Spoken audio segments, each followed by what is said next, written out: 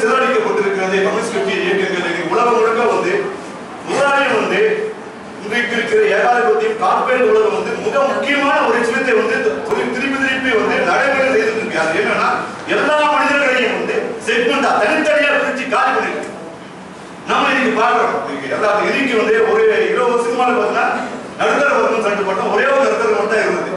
ஆனா இன்னைக்கு அப்படி கிடையாது. இருக்கு இன்னைக்கு நடுத்தர வர்க்கத்தை பிச்சு பிச்சு போட்டு வந்து ஒரு இருபது மா- இருபது நடுத்தர வர்க்கமா மாத்துது இன்னைக்கு வந்து பல்வேறு வகையான மனிதர்கள் வந்து இந்த பல்வேறு வகையான செக்மெண்டால் வந்து சமூகத்தை வந்து மாற்றி ஒவ்வொருவரையும் வந்து தனித்தனி தீவுகளாக மாற்றி வைக்கப்பட்டிருக்கிறது இது முக்கியமாக அது வந்து அஹ், முதலாளித்து அஹ், கார்ப்பரேட் உலகமும் இன்றைக்கு இருக்க சமூக இன்றைக்கு இருக்கிற விவாதத்தை உலகம் அதுக்கு மிக தெளிவாக இருக்கு. இதற்கு எதிராக ஒரு சமூக மனிதனை உருவாக்குவதற்கு முயற்சி தான் முதல் நடந்த சோதரிச ரஷ்ய புரட்சி. அதுக்கு தான் வந்து அவங்க வந்து கம்யூனிஸ்ட் கட்சியை வந்து உருவாக்குறாங்க.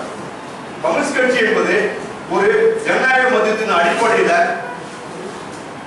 சுய விமர்சன அடிப்படையில ஜன- ஜனநாயக மதித்த கோட்பாடுகளில் உருவாக்கப்பட்ட இந்த ஜனநாயக மதித்த கோட்பாடு என்பது ஜனநாயகம் இருக்கும் மதியத்தும் இருக்கும் என்ற ஒரு விரிந்த இந்த இந்த ஜனநாயகத்துக்கும் மதியத்துக்குமான இந்த ஒரு விரிந்த களம் என்பது ஒரு கம்யூனிஸ்ட் கட்சி மட்டும் ஒட்டுமொத்த சமூகத்திலே உருவாக்கப்பட வேண்டும் ஜனநாயகம் என்பது சமூகத்தில் விரிந்து பேசப்பட வேண்டும் அதே சமயத்தில் இந்த சமூகம் என்பது ஒட்டுமொத்தமாக ஒன்றுபட வேண்டும் இதை வந்து விரிவுபடுத்துவதுதான் கம்யூனிஸ்டுடைய அடிப்படையான கொள்கை. அதுக்காக தான் வந்து ரஷ்ய புரட்சியினுடைய வெற்றி என்பதை இந்த அடிப்படையில் தான் நாம் வந்து புரிஞ்சுக்கொள்ளணும் அது மட்டும் இல்லாம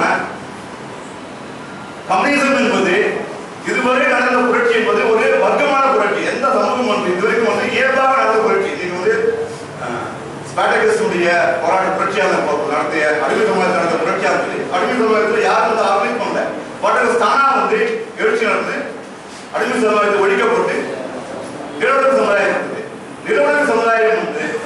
எழுந்த புரட்சி என்பது புரட்சி புரட்சி பல்வேறு எழுச்சியின் மூலமாக இந்த புரட்சி புரட்சி மாறிச்சு.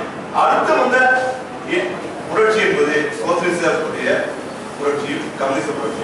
இந்த சோசியலிச புரட்சி என்பது திட்டமிட்டு மனிதன் வந்து தன்னை அமைப்பாக்கிக் கொள்வது தன்னை ஜனநாயகப்படுத்திக் கொள்வது தன்னை வந்து ஒருங்கிணைத்துக் கொள்வது தன்னை வந்து ஒரு சமூக மனிதனாக மாற்றிக் கொள்வது. இதன் மூலமாக மாற்றிக் கொண்டால்தான் சோசியலிச சமூகத்தையும் உருவாக்க முடியும் அதற்கான ஒரு முதல் படிதான் இந்த